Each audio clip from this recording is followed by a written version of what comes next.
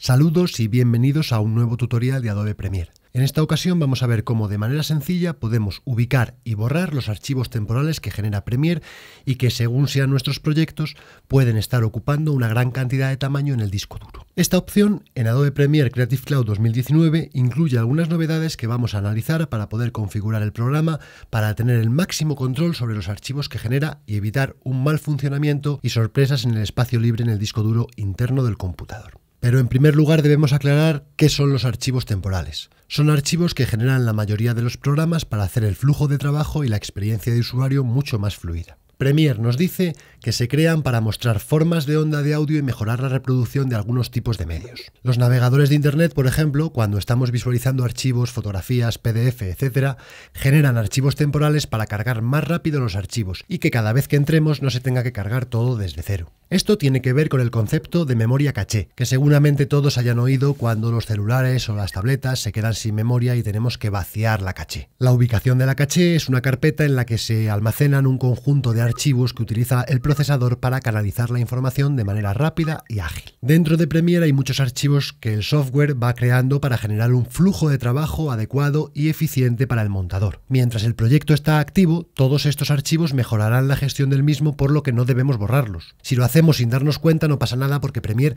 va a generarlos otra vez cuando abrimos el proyecto. En estas últimas versiones de Premiere la carpeta no se borra automáticamente, por lo que puede ser un problema cuando acumulamos ya muchos proyectos en el computador. Esto puede hacer que se llene el disco C y no sepamos bien por qué, ya que no estamos incorporando nuevas aplicaciones y los media con los que estamos trabajando están alojados en un disco externo. Los programas del entorno Adobe, como por ejemplo Premiere, After Effects o Audition, comparten una misma carpeta para almacenar toda la caché de medios. Pero entonces, ¿dónde está la carpeta de archivos de caché?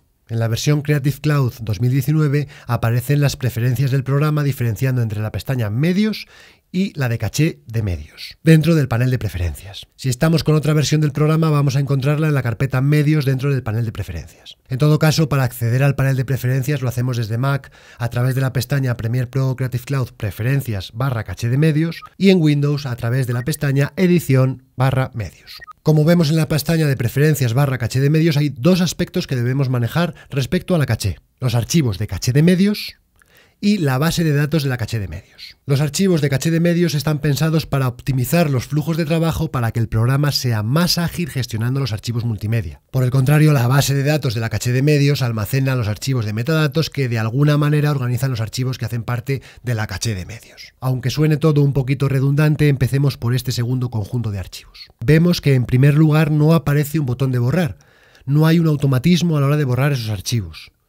Respecto a la sección de archivos de caché de medios, vemos que aparece la ruta de almacenamiento y que Premiere nos permite limpiar, o sea, borrar esta carpeta. Recuerdo que vamos a hacer esta operación si ya hemos finalizado el proyecto porque si lo hacemos antes, cuando reabramos el proyecto Premiere se va a demorar generando de nuevo los archivos y eso provoca que perdamos un valioso tiempo antes de empezar a editar. Otra diferencia respecto de la carpeta que hemos analizado anteriormente es que aparece disponible la casilla Guardar los archivos de caché de medios .cfa y .pec junto a los archivos de medios originales cuando sea posible. Este punto es muy interesante ya que cambia la gestión de archivos en el proyecto y en los discos duros con los que trabajamos. Hemos mencionado en numerosas ocasiones que la mejor manera de organizar los proyectos en Premiere es generando una carpeta por cada trabajo que vayamos a hacer.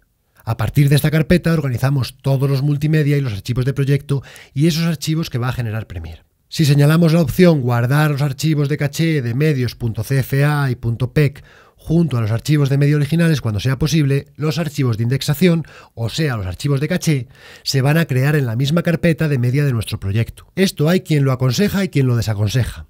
Obviamente tenemos controlados los archivos de caché, pero también la carpeta donde tenemos ubicados los archivos con los que vamos a trabajar se va a llenar de otros distintos. Hay a quien eso le gusta y a quien no.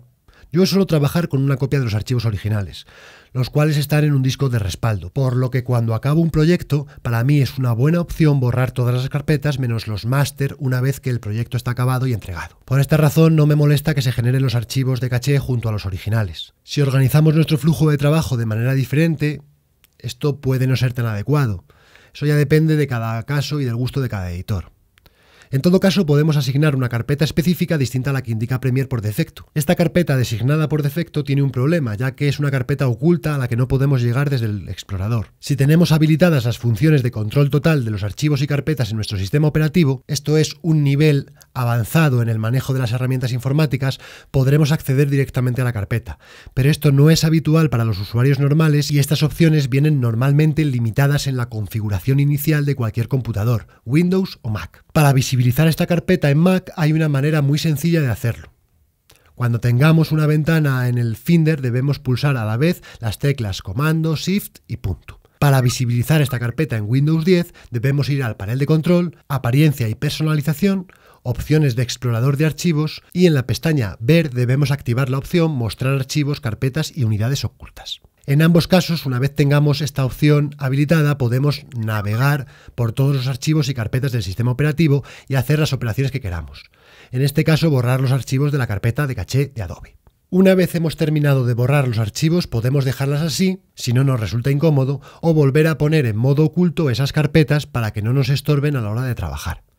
Esta operación no tiene ningún efecto para el funcionamiento del computador. Para facilitar esta tarea de mantenimiento, sobre todo si trabajamos con proyectos grandes y archivos que generen otros de caché muy voluminosos, podemos agilizar el acceso a la carpeta y así ganar tiempo en estas operaciones mediante la asignación de una ruta específica que nosotros decidamos. Esto lo hacemos mediante el botón Examinar. Si tenemos una partición o un disco externo dedicado a eso, podemos asignar una carpeta específica a nuestro gusto, aunque ya digo que yo suelo simplificar todo esto activando la casilla Guardar los archivos de de medios.cfa junto a los archivos de medios originales cuando sea posible. En las novedades de Premiere Creative Cloud 2019 aparecen algunas funciones interesantes en cuanto a la administración de caché de medios. Por defecto está configurada para que no se elimine nada automáticamente, pero se puede configurar para que Premiere lo haga por nosotros cada cierto tiempo o al alcanzar determinado tamaño. Esto es muy útil cuando generamos muchos proyectos pequeños, como por ejemplo para un canal de YouTube o incluso si editamos news. Con estos automatismos ahorramos mucho tiempo y sobre todo evitamos que el día que más prisa tenemos o que debemos entregar la pieza súper pronto, el equipo no funcione en condiciones óptimas o nos encontremos con que no tenemos espacio libre en el disco duro. Como conclusión, tenemos distintas opciones de configuración que es bueno conocer para ajustarlas a nuestras necesidades, pero sobre todo un buen editor debe tener el control total sobre los archivos y los procesos de trabajo y no dejar que el equipo o el software los condicione. Pues nada más, espero que este vídeo haya sido de su interés, un cordial saludo y hasta el próximo tutorial de Premiere.